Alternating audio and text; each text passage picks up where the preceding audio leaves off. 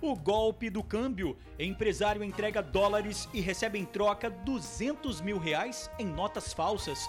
A vítima conheceu o golpista num hotel. Ele disse que era tesoureiro do Senado. Porteiro versus bandidos. Cansado da violência, o funcionário fez curso de vigilância e comprou equipamento de segurança. Nesse vídeo, ele aparece sendo agredido por assaltantes no prédio onde trabalha. Nossa equipe volta ao local onde jovens foram vítimas de maníaco. O acusado foi preso, mas quem mora na região vive com medo. Há vários terrenos baldios. Eles temem ataques de novos criminosos. Pais e alunos com medo de sequestro em Bandeirantes Cariacica. Veículos misteriosos rondam as escolas. Uma estudante teria sido vítima de supostos sequestradores. O sorteio da promoção A Tribuna da de 10. Quem será o ganhador do carro zerinho? A Pílula da Beleza. Cada vez mais capixabas tomam diariamente a cápsula que promete ser o segredo da juventude. A principal substância é encontrada em uma fruta, a uva. A gente já volta.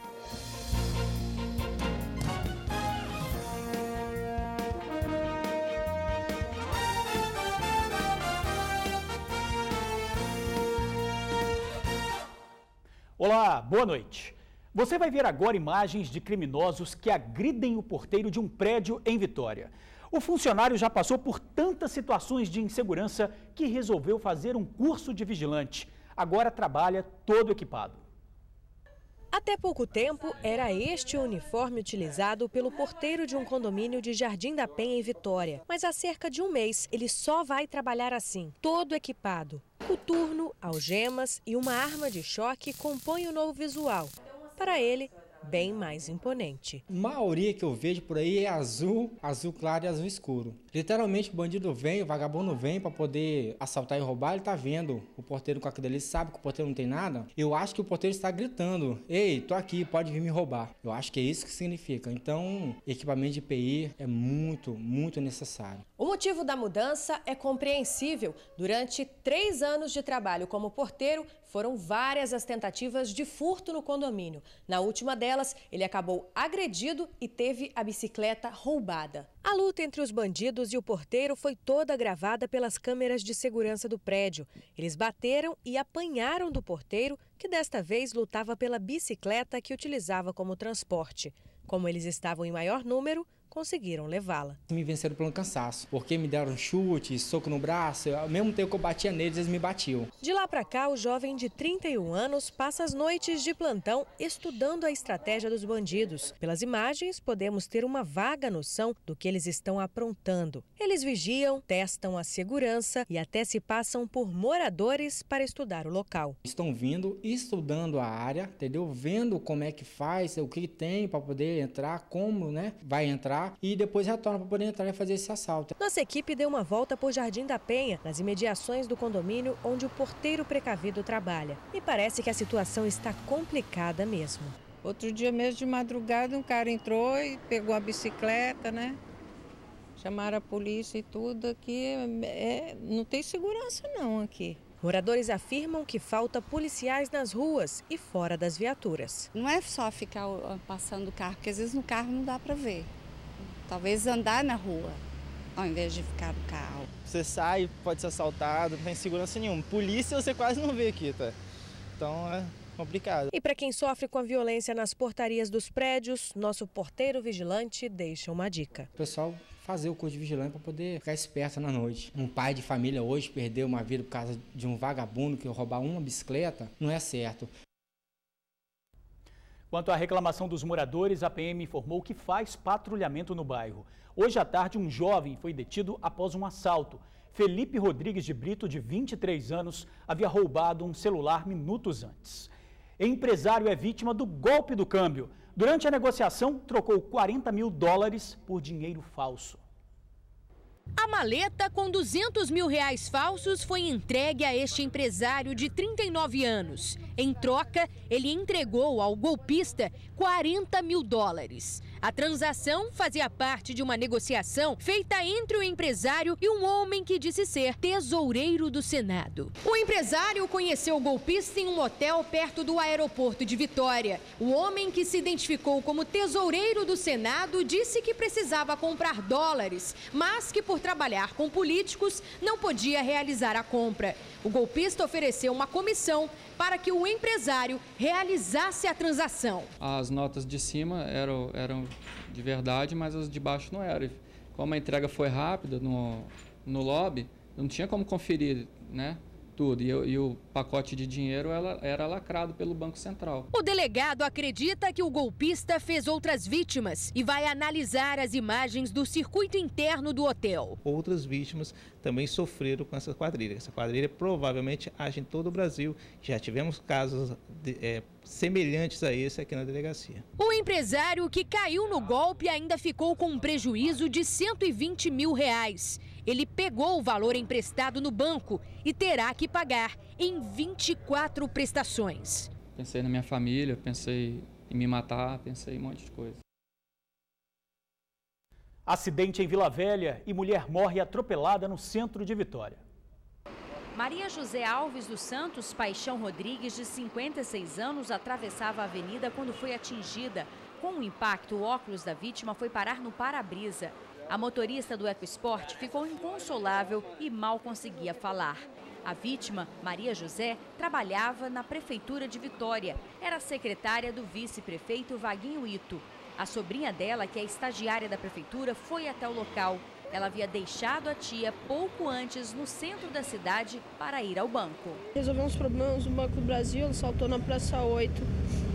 Aí provavelmente ela estava aqui na cidade ainda quando aconteceu isso. Seis veículos se envolvem em acidente na rodovia Darli Santos. As vítimas apontaram o condutor deste caminhão como culpado pelo acidente. O motorista fez o teste do bafômetro, que constatou que ele havia bebido. A documentação do veículo também estava irregular. Testemunhas disseram que o condutor avançou o sinal vermelho. Ele foi autuado em flagrante por lesão corporal culposa, pagou fiança de 350 reais e foi liberado. Em Cariacica, pais e alunos estão apavorados com a notícia de que um carro estaria rondando escolas para sequestrar estudantes. Essas mães não dormem direito há uma semana, quando as tentativas de sequestro começaram a acontecer. Cinco crianças já foram vítimas de pessoas em carros misteriosos que rondam as escolas do bairro Bandeirantes, em Cariacica. Isso tira geral, no geral, a paz de todo mundo, porque você não consegue trabalhar, você não consegue fazer suas coisas do normal. Você saber que você pode receber uma ligação no, do nada. Então é preocupante sim, se a população não se unir, a gente não sabe até onde vai acontecer, o que vai acontecer, porque já tem cinco vítimas de quinta-feira para cá.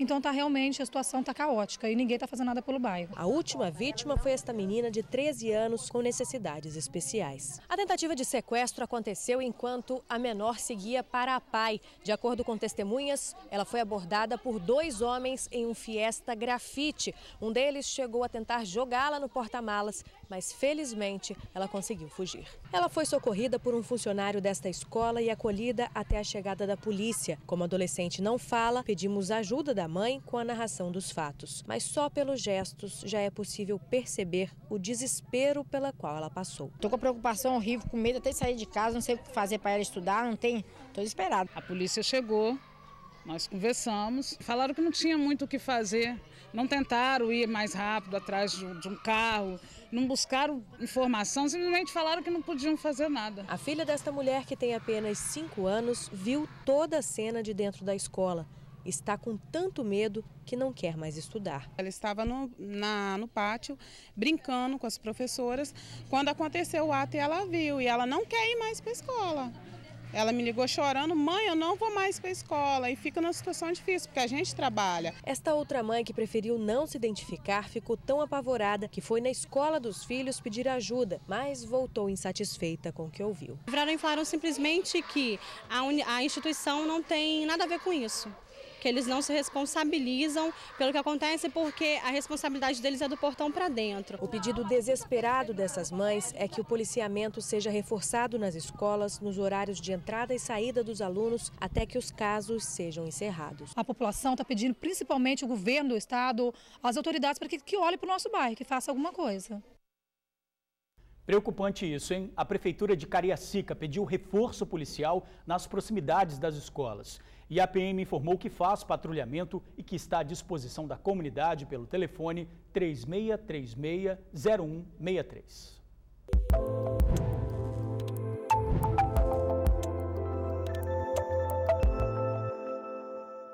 Os avanços da medicina que prometem retardar o envelhecimento e também dar mais energia ao longo da vida, a Tainá Lopes e o cinegrafista Alberto Pires foram conferir uma das novidades. Pílulas que prometem prolongar a juventude e deixar você mais bonita. A popularmente conhecida como Pílula da Beleza promete resultados desde a redução de rugas ao fortalecimento de unhas e cabelos. O resveratrol é a principal substância que compõe a Pílula da Beleza Possui propriedades medicinais comprovadas e proporciona vários benefícios, como a aceleração do processo de emagrecimento e a proteção da pele. Desde uma proteção das nossas veias, das nossas artérias, do nosso próprio coração, melhorando o perfil de colesterol, de triglicerídeo ele é uma excelente substância, com, também com estudos mostrando potencializar o processo de emagrecimento, mas ele também possui estudos mostrando a ação protetora que ele tem na nossa pele, diminuindo aí a formação dos melasmas e também por ser esse alto antirradicais livres, ele vai atuar como um protetor sistêmico mesmo, atuando em vários processos inflamatórios no nosso organismo. Adriana tem 45 anos e faz o uso da pílula da beleza há 5. Desde que incluiu o medicamento na rotina diária, percebe mudanças. Melhora na textura do cabelo, diminuição de queda, hidratação da pele, fortalecimento das unhas, e outros benefícios que para a saúde em geral.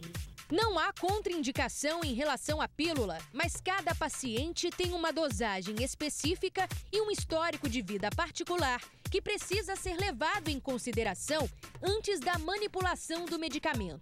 É lógico que a gente não pode imaginar que essa cápsula por si só vai trazer uma receita milagrosa de anti-envelhecimento.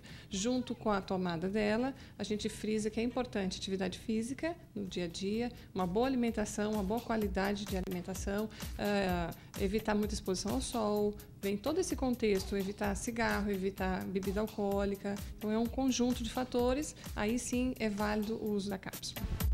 Adriana conquista cada dia resultados melhores para a saúde e para a beleza.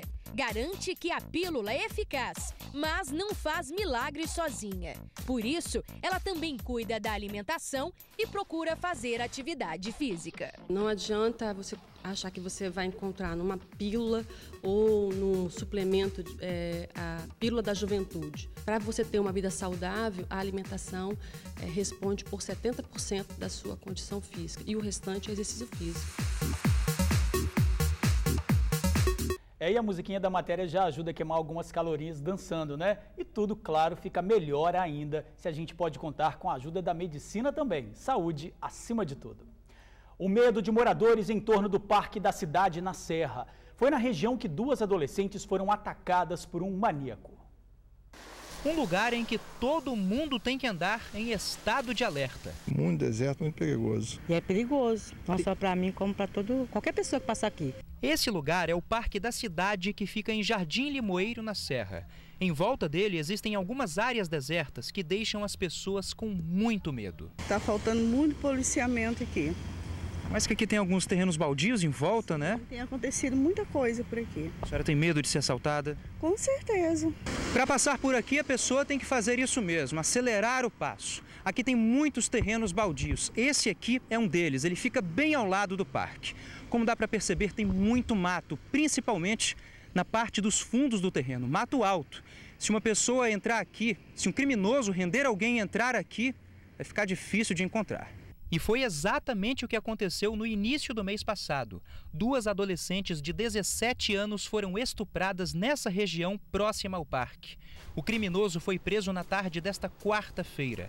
Mário Sérgio Cordeiro, de 20 anos, confessou o crime. Espontaneamente confessou e descreveu toda a prática delituosa, todo o iter crimes ali, todo o caminho que foi feito desde da rendição das vítimas até a consumação do crime de estupro. A Polícia Militar afirma que faz patrulhamento na região. Diz ainda que alerta aos donos das áreas que ficam no entorno do parque para limparem seus terrenos. Essa semana já tivemos uma reunião com a prefeitura, envolvendo também escolas do entorno ali, para a gente traçar uma estratégia em conjunto, né? Então já ficou por parte desses órgãos públicos responsáveis pela limpeza, né? Estão notificando os proprietários desses terrenos, porque nós temos feito algumas ações rotineiras e diárias no entorno do parque, né? Mas infelizmente há pontos sensíveis ali. Então a prefeitura já está notificando e a polícia tem feito ações diárias ali. Pois é, a prefeitura reafirmou que quem não cumprir a lei pode ser notificado e multado. A denúncia pode ser feita pelo telefone 3251 5833. A festa da Penha movimenta o comércio de artigos religiosos. Em meio à crise, lojistas apostam na fé para aquecer as vendas. Nas lojas de camiseta falta espaço para tanta gente. Todo esse grupo veio de Minas Gerais para passar alguns dias no estado e aproveitou para comprar algumas lembrancinhas. Todo mundo aproveita que está fazendo um passeio, assistimos a missa, aí a gente dá uma corridinha nas lojas e sempre leva alguma coisa, né? A gente compra aquelas coisas assim que está mais em conta, de acordo, né? Que dá pra gente, dá para comprar. Não aperta não? Não, eu gosto, eu adoro comprar. Patrícia trabalha em uma loja perto da entrada do convento, na prainha em Vila Velha, e tem que se desdobrar para dar conta de tanta gente. Sempre tem um movimento, né? Tem hora que dá uma paradinha porque é normal, mas maioria do dia sempre uma correria bem legal. Mas alguns comerciantes ainda acreditam que o movimento está fraco. Para eles, as vendas podem melhorar no final de semana, quando acontecem as romarias. A festa da Penha vai até a próxima segunda-feira. A expectativa é de que até o final do oitavário, um milhão de pessoas passem por aqui. Os devotos costumam levar imagens, terços e artigos ligados à padroeira do estado, como fez a Ana Maria, que mesmo em meio à crise não deixou de levar uma recordação para a família. Aproveitar para comprar um pouquinho também, né? Porque se vir aqui não comprar nada, não, né? não vale a pena. Levar uma lembrança, né? A greve dos garis na Grande Vitória. Os profissionais decidiram suspender as atividades de recolhimento de lixo depois de uma assembleia hoje cedo. A proposta dos empresários foi rejeitada. As prefeituras de Vitória, Serra, Cariacica disseram que estão tomando medidas legais para resolver a situação. Já a prefeitura de Vila Velha disse que a empresa contratada é que deve responder pelo caso. E vamos agora ao sorteio da promoção A Tribuna da de 10. E aí, gente, chegou a hora, chegou a hora de mais um sorteio da promoção A Tribuna da de 10. Vai sortear e entregar na sua casa um app completo, quatro portas, motor 1.0, total flex, ar-condicionado, hein? Freios ABS, bom demais, né? Vamos lá, chegou a hora! A Tribuna da de 10, mais, mais, pega lá de baixo, pega lá de baixo, pega lá de baixo. Pega lá de baixo, tá na mão, tá na mão, agora tá, parou na mão, parou na mão bonita aqui. Por favor, Márcio, conferindo, atenção, tá conferindo se você preencheu seu cupom corretamente. Pensamento positivo tá valendo, um app zerinho da promoção A Tribuna da de 10. Está valendo, está valendo, gente. Ó, ó, chegou, chegou na minha mão. Vamos ver. Alô, Cariacica. Alô, Cariacica. Alô, bairro Maria Santa Fé. Olha só, vamos lá, corre lá e avisa ele, corre lá e avisa ele. É o Carlos Alberto Pimentel, Carlos Alberto Pimentel. Tá aqui, ó, Cariacica, bairro Maria Santa Fé, levou, ganhou o app. Tá bom? Mês que vem tem mais. Sabe quando? Dia 7. 7 de maio. Valeu, gente. A tribuna dá de 10 até dia 7 de maio. Tchau, tchau. Ó, parabéns, hein? Valeu. E a seguir, motorista de ônibus perde controle do coletivo e bate em árvore. 20 pessoas estavam no ônibus. A gente já volta. Ônibus bate em árvore e passageiros ficam feridos em Vitória. O ônibus municipal fazia a linha Bairro da Penha. O acidente foi na curva do Saldanha. A pista estava molhada. O motorista perdeu o controle do veículo e bateu na árvore. Havia 20 passageiros e, com o impacto, três ficaram feridos. As vítimas foram socorridas pelo SAMU sem ferimentos graves. E a gente fica por aqui. Para você, uma boa noite. Até amanhã.